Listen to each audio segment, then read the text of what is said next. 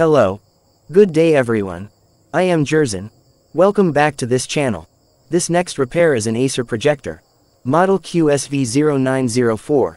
The symptom of this projector is spotted display on upper right side of the display. I show you how to fix it. If you like electronics and want to learn about repair, please support by hitting the subscribe button and click the notification bell to update on my next video. So let's get started.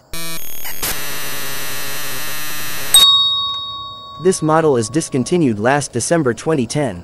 The X1130 projector features has a closed captioning display, audio elements in the text format, auto keystone correction, with 2300 ANSI lumens brightness, SVGA resolution, and Acer Color Boost 2 technology, this projector also helps conserve nature's resources, reducing standby power consumption by as much as 50% via the Acer Eco Projection technology. And easy to use, looks like this projector is good for use in the school and or in the church PowerPoints. Seems the problem of this unit has a white dots display. Let's focus on the DMD chip. DMD chips contain tiny mirrors. DMD stands for Digital Micromirror Device. A DMD is an optical microelectrical mechanical system or MEMS that contains an array of highly reflective aluminum micromirrors. When these mirrors are damaged, spots appear on the screen. DLP projectors have high sensitivity to heat. White dots on projection screens are caused by pixels damaged by heat. Due to this projector lamp, a projector lamp has an arc gap that is filled with ultra-high pressurized mercury vapor. The lamp operates by sending an electrical current across this pressurized arc gap. The current lights the mercury vapor and causes the lamp to produce an extremely bright light. There is about 30 milligrams of vaporized mercury in a projector lamp, the mercury is under pressure and would be released into the atmosphere if the lamp explodes. Now let's remove the aluminum shield, the circuit board, and the other components inside to access the DMD chip. The DMD chip is located at the back of this lens, so we need to remove the circuit board first.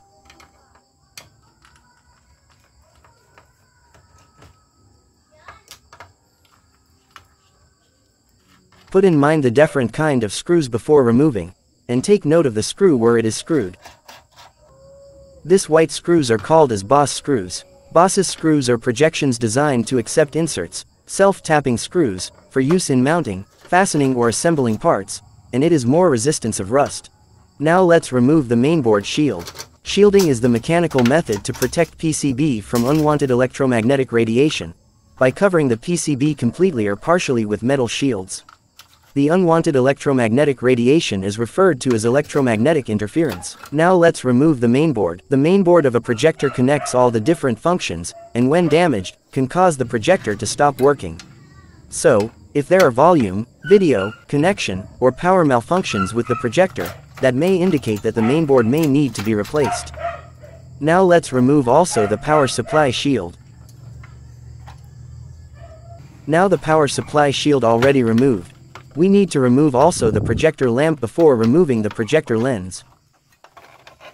The projector lamp is the most essential part of your projector, because it creates the light that shines through the DLP or LCD system and makes the vivid images into your projector displays. A projector lamp is used to transfer an image from a multimedia projector into a larger screen for an audience to view. These components include the ARC tube, ultra-high pressurized mercury vapor, electrical wiring, a quartz globe or reflector, a fastener, a spoke, a nut, a screw, and finally the black plastic housing itself. Now the projector lamp already removed, we can now proceed to remove the projector lens. Let's remove the DLP projector rainbow effect first for its safety. The DLP projector rainbow effect. Only DLP projectors are impacted by the rainbow effect. Other called it as a stroboscopic effect, produced by slow color wheel. The projector rainbow effect is a visual phenomenon where someone watching a projected image perceives flashes of color around the image.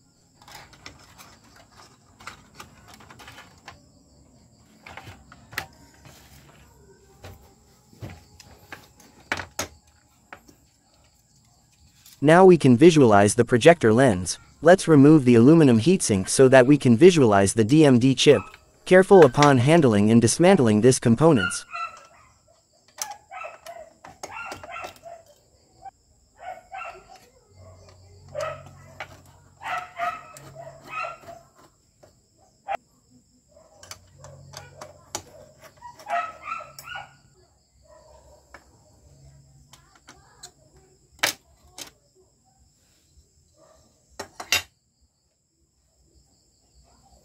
The DMD chip.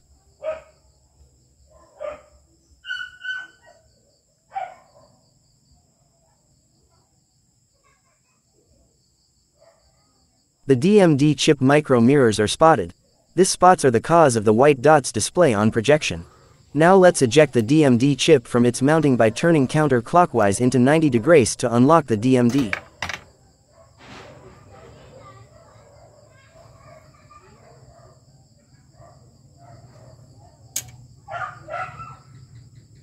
Let's replace this DMD chip.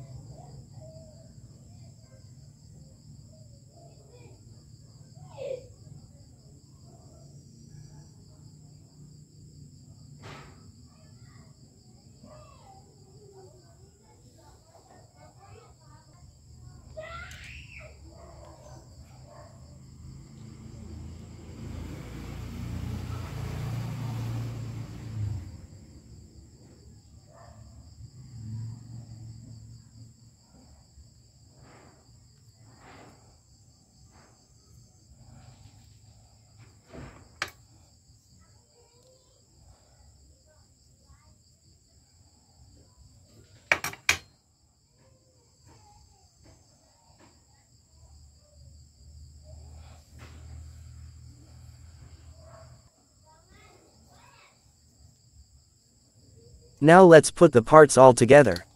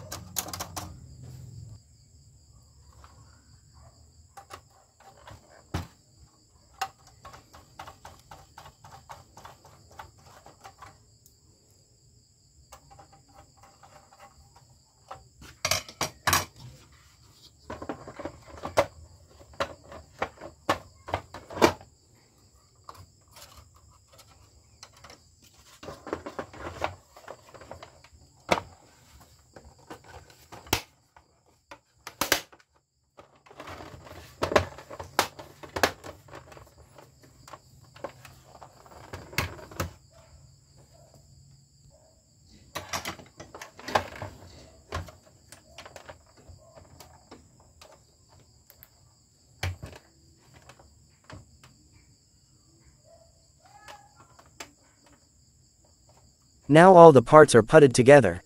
Now let's test the unit.